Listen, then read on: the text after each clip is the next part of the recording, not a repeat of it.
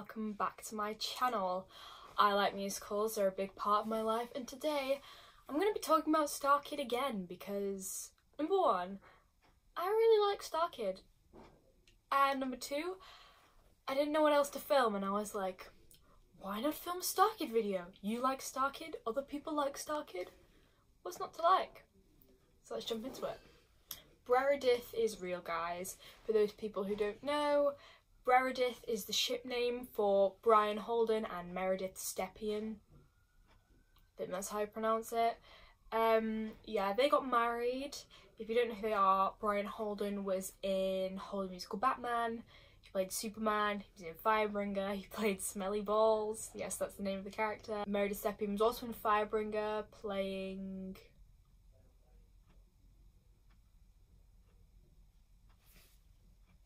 I've forgotten her name. Lauren plays Zazzalil, and this is so bad. I literally watched Firebringer last week. Give me a second. Clicked on the Star Kid Wikipedia. Her name was Jamila. I don't know why I couldn't think of that because that was extremely frustrating why I couldn't just think of her name. But yeah, she played Jamila in Firebringer. She also played Scheherazade in Twisted. She was also Hermione in a Harry Potter. I know she was in senior year. I'm not sure if she was in the sequel or not. I want to say not though. But yeah, they got married. It seemed like a very nice ceremony and I wish all the best to them. Who was irritated by the misleading thing on Jon Matteson's Instagram? I'm gonna put the image here. Um, oh my god, I was shocked. Like, I was shook. Shook when I saw it. I was like, oh my god, because I saw the photo and I was like, oh my god, they look so good in that photo. And then I was also like, oh my god, is this real? And I was like, low-key excited. I was like, okay, I'm there for it. And then I was reading it, I was like, I don't this is real, but I really hope it is. And I was just scrolling and I was like, oh, it's not real. It's not real. And I was sad. But at the same time, I was like, I kind of expected it to be. So it wasn't that bad, but like, who else wanted that to be real? Because I did. I did so badly. So if you watched my last video, which I'll link in the description, I talked about what Star Kid shows I've seen and if you saw the little edit in the corner, it said that I watched Firebringer whilst I was editing and I did. I enjoyed it, I thought it was good. I liked, I've forgotten her name. I think her name's Lauren in real life, but not Lauren Lopez. All hail Queen. Um, but yeah, I watched it. I liked her. She was like the narrator one. I wonder she was like auntie something, grandma something. That's just mogul. Uh, I'm gonna I'm gonna put the title of the character just there. And let's be honest, I probably got it very, very wrong. I found her character quite interesting. I liked Kiri. She was a joy.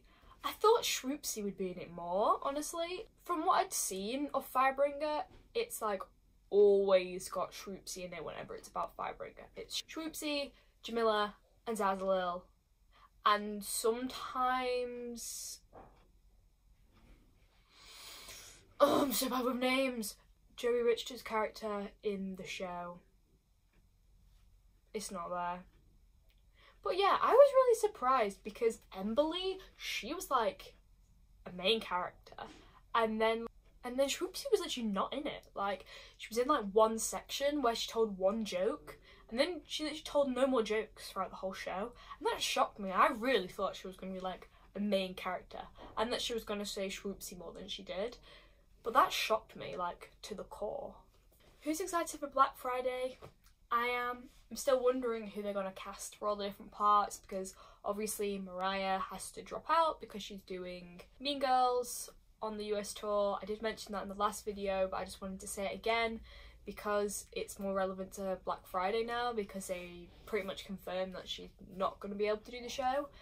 But I wish all the best to her because a lot of people have said that basically she doesn't deserve it because she's not mm-hmm. experienced enough.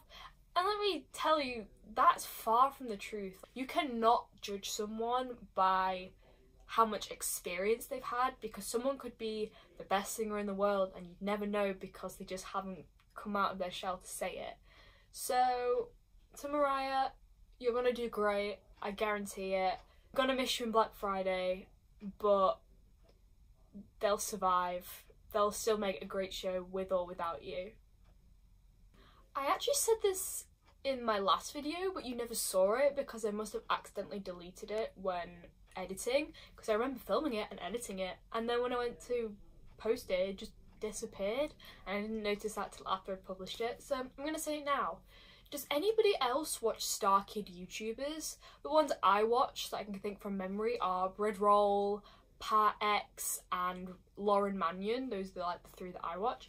But does anyone else watch them and but hasn't actually seen all the Star Kid shows? Like there's so many parts from like a Very Potter musical or the sequel or senior year or ANI or shows that I've never seen that I actually just know bits like the Joe Walker dance sequence in ANI. I feel like a lot of people know that. But then the I've fallen from high the world has said goodbye. I don't know any of the words other than that, just because when like they rank the songs or the shows, they always use that clip and they always use the same section of that clip. So I always just know that bit. Or I've gotta get back to Hogwarts, gotta get back to school, gotta get back to Hogwarts. I don't know any more words, yeah.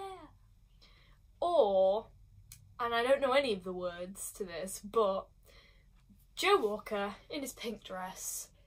I want to say in the sequel, probably in a Harry Potter sequel. But yeah, him as Umbridge. Oh my god, him doing stutter. So good. Like all these. Rude. Rude. But yeah, all these iconic parts of these shows that I've never seen but just know because like they rank the songs. So I was just looking through my YouTube recommended and I saw a video from Kick Your Head, who is a Star Kid YouTuber for anyone who likes Star Kid YouTubers, and she basically made a compilation um, of Joey Richter talking about his blooper in Trail to Oregon the actual blooper and the way it was meant to sound, just if anyone was interested in what I'm talking about here. But I'm just gonna sum it up. So, Joey Richter plays most of the characters in to Oregon. He multi roles a lot during that show, and at one point he is the general store guy and an ox at pretty much the same time. And he messed up the words. The words do go very fast, so I don't really blame him. But he was actually filming whilst they were doing this, so you see it, and people don't know the lyrics to the song Independence because of this. Like, I don't. I just know his There's lots to learn. Ho, ho, ho, ho, ho, ho, ho, ha. Acts like me. Like, I only know that. I don't know the actual lyrics to the song. I wonder if anyone else is like this, because I want to know if people are. Um, comment below if you are the same, that you don't know the lyrics to certain songs because of mishaps other characters have made. But yeah, I just found that so funny how I don't actually know the words because of that blooper. I didn't actually talk about this in the last video, but someone commented on the video about Little White Lie. I've not seen Little White Lie, and I would love to because, first of all, Darren Criss is in it, it's great. Uh, and second of all, Lauren sings Boy Toy, which is probably the worst and best song ever written in Star Kid history. It's a bit like a seven year old wrote it, but like on purpose, and it's great. That was probably the worst explanation of that song ever, but if you have not listened to it, please do. I advise you. Because I mean, Boy Toy Boy Toy, you know you are my favourite boy. Best lyrics of all time, let's be honest. Star Kid Homecoming. Do I need to say anything else other than It's beautiful. I was not there in person, but it seemed beautiful. And I watched Darren Criss's Instagram stories about them. That was probably as much as I saw, but yeah, that's all I needed to say with that. I'm just going to go on a quick rant about the guy who didn't like musicals because I really like it and it's just some things that I wanted to say about it. So, an opinion is that Jaime Lyn Beatty, yep, that's her name, don't forget it, who plays Charlotte in the Guy Didn't Like Musicals, her character is quite annoying. I agree, but I think she's meant to be. Like, her whole character is the worrying, annoying, lonely wife. Yeah. And I think that the way she's written kind of causes her to be annoying. So don't hate on Charlotte because she seems like a really nice gal if you got behind the the reality of her sadness. Dorris, underrated. Underrated. Like, come on. Give him a part. Give him a good part. Please. He got one solo line in the Guy Didn't Like Musicals. One. How is that fair? Like one singing line. Give him more than that. Look, it's one. Can we turn this up to two or three? Or maybe just give him the main part in the next one. Please. People are going to hate me for this, I'm already aware, because I'm going to share some unpopular Star Kid opinions with you guys. And there's just two, and they're both about Mariah. Not about her herself, because obviously she's an amazing being, but they are about things that she says and does in the die. The die? Well, they all die. Spoilers! Well, not all of them. Most. Well, well, well, well. I don't know. Let's get back on track. So, um, the guy didn't like musicals. Mariah, first of all, is amazing. Don't get me wrong. I love her. However, people who find the theatre kid line funny, I just didn't understand. I found it more relatable than funny. It's the God damn it, Emma, now I've got to go and make a tea with honey, okay, oh my god, that line. I didn't find it funny and I don't understand why people did, but I get it. I understand. I, I feel like that sometimes. I don't really like tea and honey, but I, I get it. But I didn't find it funny. People are probably going to kill me for that because I think people love that line. I just didn't understand. I didn't understand what made that funny. Like, I understood it. I got it. I got it. It's relatable. I know. I know. But, yeah. I'm not trying to hate on it. I'm really not. I like that the line is there. I just don't understand the comedy based around the line. If people get me. Yeah. And secondly, not your seed. I'm afraid to share this one to be honest. I'm not the biggest fan of Not Your Seed. Don't get me wrong, it's a good song. It's good. I know that. I love like the backing and the Mariah obviously slaying in the song. But yeah, people really like that song. It's not a favourite. People are wondering what my favourites from the Like Musicals are. They are Showstopping Number, obviously, because it's Showstopping Number. Show Me Your Hands, because three-part harmonies and Mr. Mannion as as police sirens. Best thing ever. Pretty much. There's so many. I like La Di Da Da Day. That's great too. And the cup of roasted slash poisoned coffee. I like both of those because they're three part harmony as well. But yeah, I just it's not the worst song in the show. I don't think there are particularly any bad songs. And to those people, stop hating on What Do You Want, Paul it's a funny song. It's meant to be weird.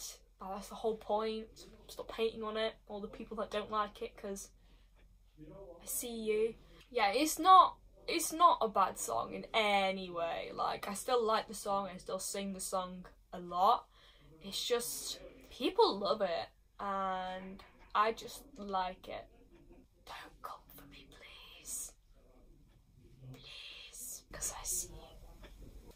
Little thing about Twisted, I didn't realise the first time round that it's based off Disney and Pixar. Well, obviously I got the Disney part. I got that it's all about Aladdin and that. However, I did not click with Pictar and Pixar until like the second time, third time around watching it. Just did not click at all.